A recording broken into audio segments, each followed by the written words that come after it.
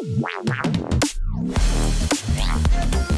wearing uh, Mizuno's and they are so comfortable. Three years maybe, I think. I used uh, Nike uh, some games uh, last year, but I started to use Mizuno's three years ago. Masters, yeah.